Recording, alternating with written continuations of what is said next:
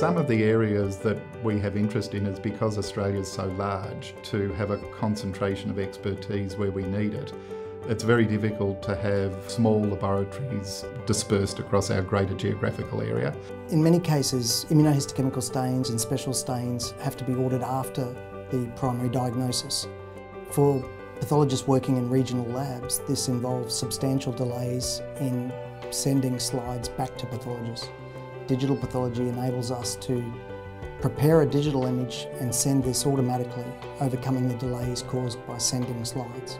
So the digital images are improving the turnaround time rather dramatically in that situation. Previously when we attended multidisciplinary meetings we would take photographs or even take the actual slides themselves but you'd have to take a microscope as well. Using the Philips product we're able to actually bypass all that and just show the whole slide quickly, digitally. We can zoom in, we can show all the information that we want. So it's actually very convenient, it gives us more information to convey and the clinicians seem to like it a lot.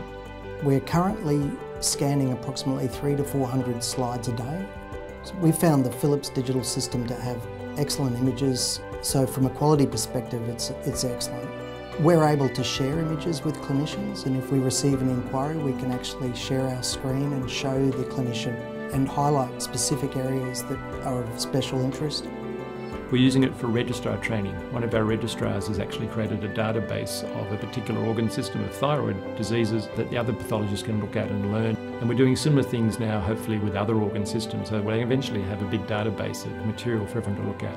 In many cases we have to retrieve material that may have been reported months or even years previously and the storage of glass slides off-site creates significant delays in the retrieval of this material. Digital pathology enables us to retrieve these in a matter of minutes. The Philips IntelliSite pathology solution performed well during our evaluation programs at Sonic Healthcare. Implementation with our laboratory system Apollo was simple and easy to do. Sonic Healthcare views information technology as a strategic partner to enable our operational objectives, but also uh, contributes to our medical leadership objective. Increasingly in histopathology we are discovering newer stains and newer tumour markers which are performed in specialised labs such as this one. Digital pathology enables us to perform those stains and share those images with the reporting laboratory virtually in real time. We find once pathologists are familiar with the product, are taught to use the product, have learnt to use the product, then there really is no barrier.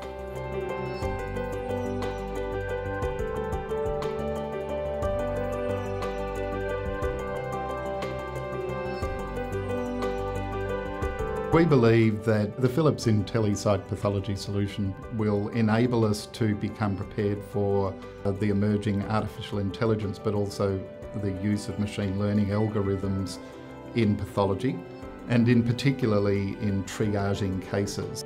Historically, histopathology has been a very manual process. Digital pathology offers the opportunity to automate some aspects of the reporting of histopathology. An example would be the counting of positive stains. We're not using that just yet, but this is something we anticipate will happen in the future.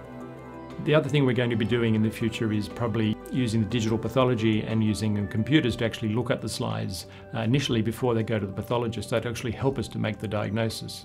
So this is going to be something that we're going to be using a lot, I think, in the future in a lot of different areas of pathology.